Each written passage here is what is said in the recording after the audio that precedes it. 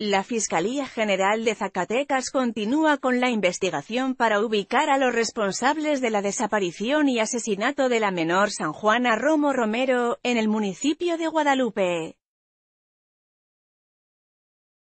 La menor, de nueve años de edad, salió de su casa el pasado 20 de julio para ir a la tienda y ya no regresó. Su cuerpo fue localizado el lunes pasado, en un terreno baldío junto al Panteón Municipal.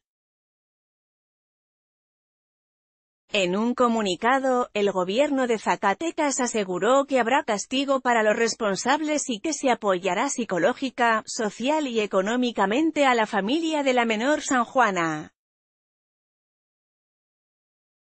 Será la Comisión Ejecutiva de Atención Integral a Víctimas de Zacatecas, CAIVZ quien se encargue de atender a la familia Romo Navarro.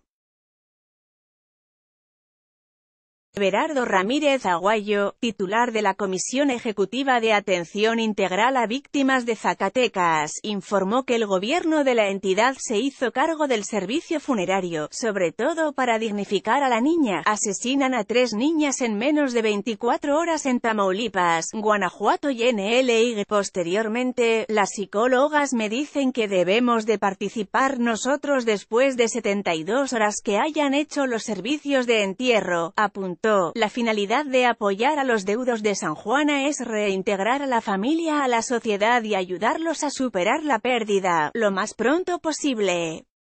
Ramírez Aguayo señaló que los familiares de la menor asesinada serán quienes determinen sus necesidades o requerimientos para que las autoridades inicien un plan de ayuda integral. Mientras, la Comisión de Derechos Humanos del Estado de Zacatecas, CDHZ, pidió a las autoridades agilizar las investigaciones y aplicar todo el peso de la ley contra los presuntos responsables.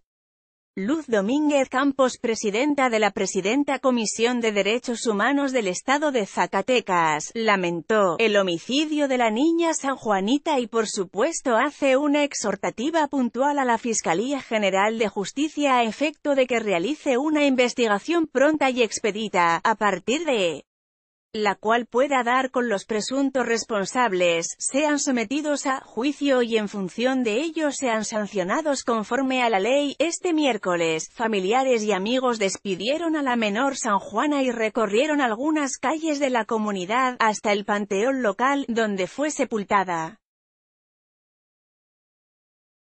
ONU pide a México medidas urgentes para prevenir feminicidios con información de Melina González, RMT.